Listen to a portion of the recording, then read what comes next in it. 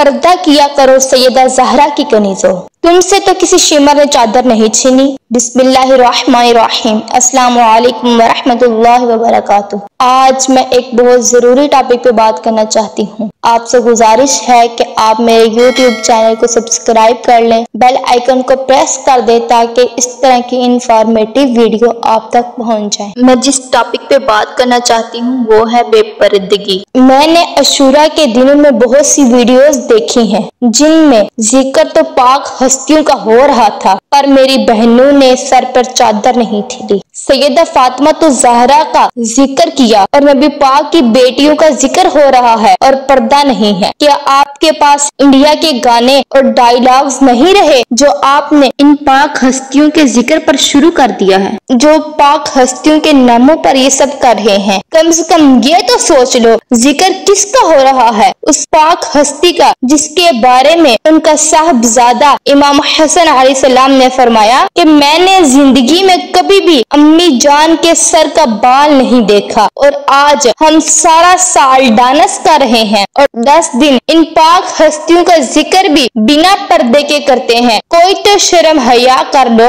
अल्लाह को क्या मुँह दिखाना है? ना कोई पर्दा, न सर पर चादर। बीबी पाक के सामने कैसे जाओगी अगर कोई समझाने के लिए पर्दे की तलकीन कर दे तो मेल डोमिनेट सोसाइटी है। अगर कोई लड़की ये कह दे कि पर्दा करो तो तुम लोगों को याद आ जाता है कि आवाज़ का भी पर्दा है। जो मर्ज़ी करो, इधर पर्दा याद नहीं आता अगर दीन की और पर्दे की कोई बात करे तो औरत औरतों की दुश्मन। तुम फिलाओ बेहयाई।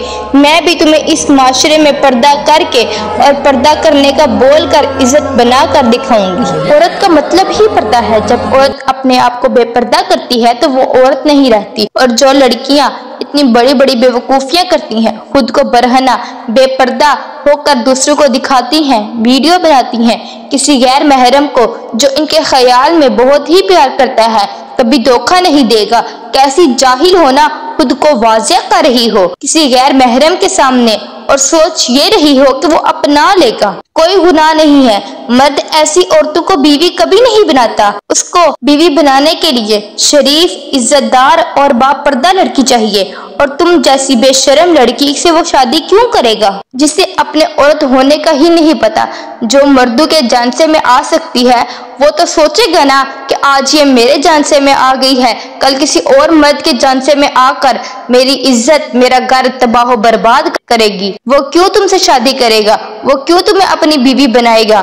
खलीलुर रहमान सही कहते हैं गैर महरम मर्द गैर महरम औरत के लिए बेड़िया है। और जब अल्लाह ने खुद फरमा दिया है कि औरतों पर्दे में रहा करो गैर महरूम से पर्दा किया करो तो फिर तुम क्यों लोगों को बरहना बनकर दिखाती हो?